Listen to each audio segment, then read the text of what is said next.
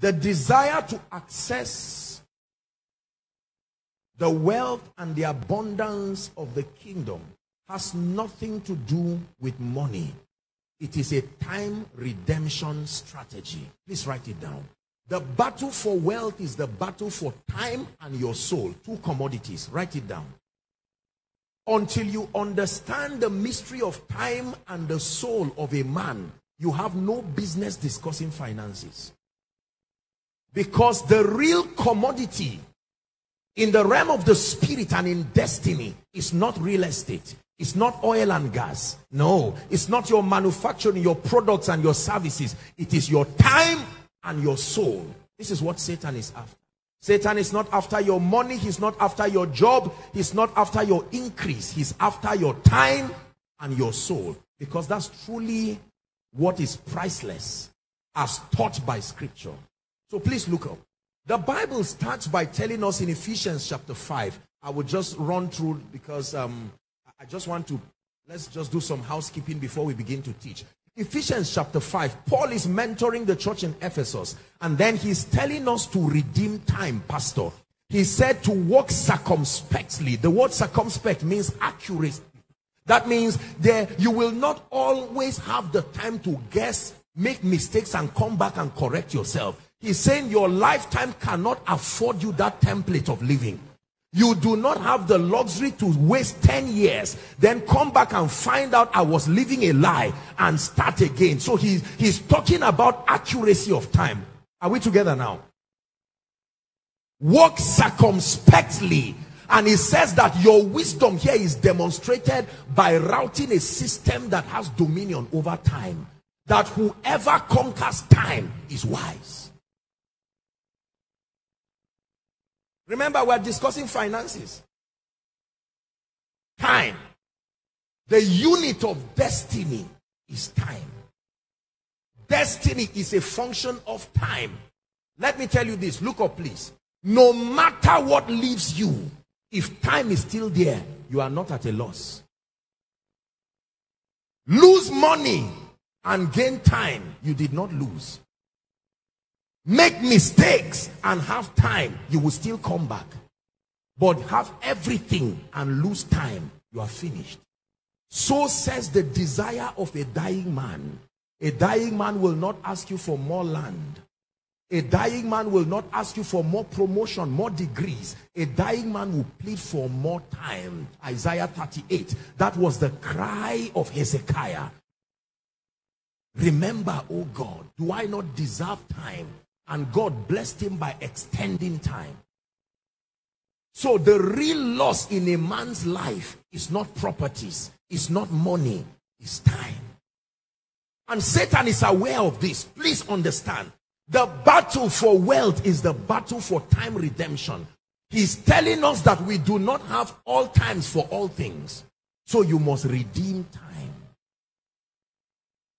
I've said it again and again and I will continue to say it. It takes time to know God. You don't know God in a nutshell. It does not work in the pursuit of God. It takes time to know God. You don't summarize knowing God by looking at one or two verses. No, there are times that you will stay to know God and he will patiently come as though you don't have anything to do. They that wait on the Lord. Not they that want to see him. Those who are ready to invest time. Are you getting what we're saying now? So we're dealing with time here. That whoever can, can have dominion over time according to scripture is a wise man and he says to walk circumspectly as wise and not as unwise redeeming the time because because the days are evil So God interjected systems of advantage in our work so that by these mysteries of the kingdom, we will be able to exert dominion over time. Did you know that in Africa, most families did not have the opportunity to know God early? Is that true? Now, if you get born again at age 30, I hope you know based on the schedule of destiny, you are very late. Because that's when Jesus was fulfilling his assignment. And you get born again by 30, which looks very early in Africa. Yet you are in trouble because it will take time for you to argue about the ministry of the Holy Spirit until you finally receive him. It will take time to argue about all of these things until you are finally filled with the Holy Ghost. Then submit yourself to the mentorship of a correct pastor. If you find a wrong pastor, be ready to reverse after 10 or 15 years. Remember, it's not every shepherd that is after his heart. Are we together? So I get born again at age 30. I take 10 years to establish myself in the knowledge of God. Even if I have 120 years to live, time is already against me.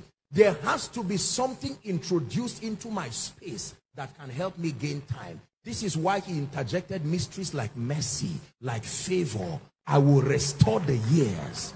Now listen, everybody's destiny by default is disadvantaged.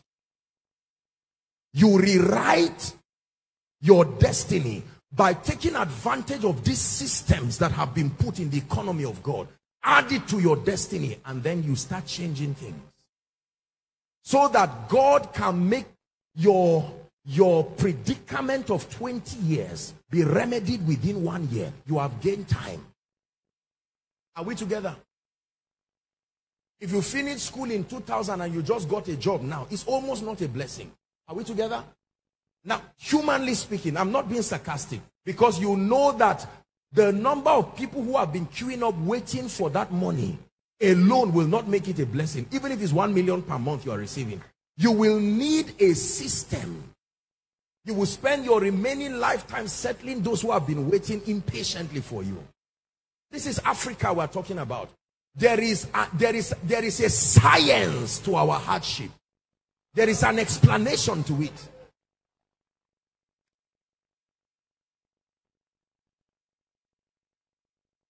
So it is important for us to understand. We are not just dealing with money because this is this has been the approach to the subject of wealth and prosperity. It comes from a standpoint of lust. Most people approach the subject of wealth it's just about money and having materials uh, and then proving to people in the village and around that um, no, that's too small a reason to get God's attention. What about his program here? Are we together? You see, when believers are mentored and built, it is not just truth that blesses, but truth that is sequentially arranged. Truth can kill. When, if I get born again and the first message I hear is prosperity, chances are that I will be a fool. And the prosperity of fools destroy them. Are we together now? I'm, I just get born again and my first sermon is prosperity. I have not died to the flesh. And so I will, I will view the subject of wealth from the lens of my corrupt heart and it will destroy me. So there are other truths that must precede that to make the subject of prosperity a blessing.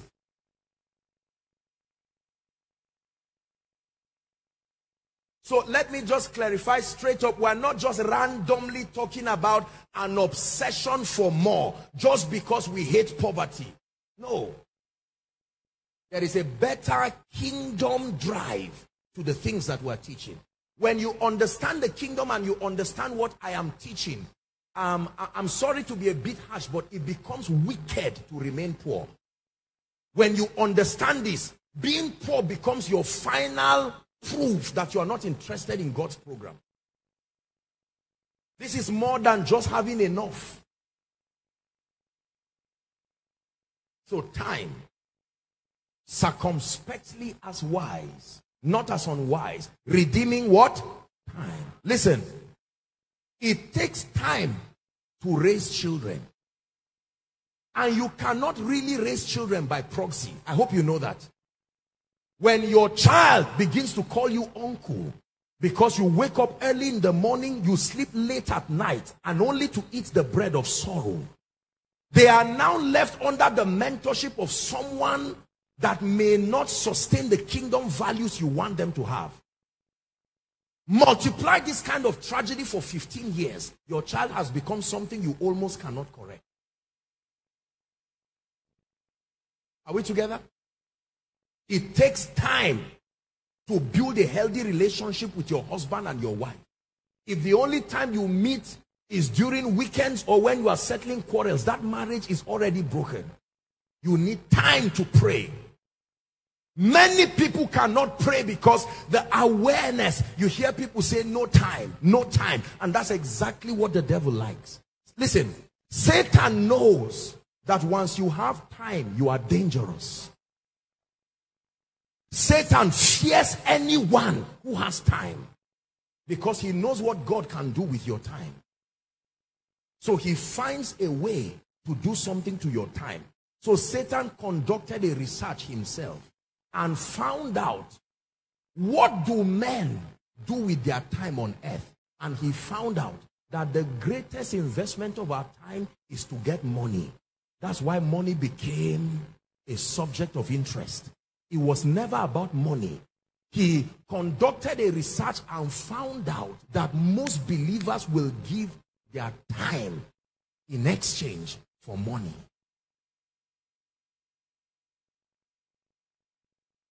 Are we together?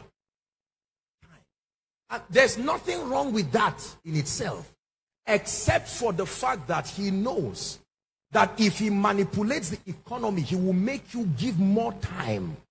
And because you have only 24 hours per day, the remaining time you can have to spend with God, he will do something so that you can take out of it to still try to get more money.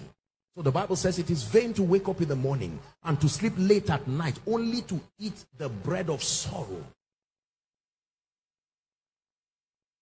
Are we blessed already?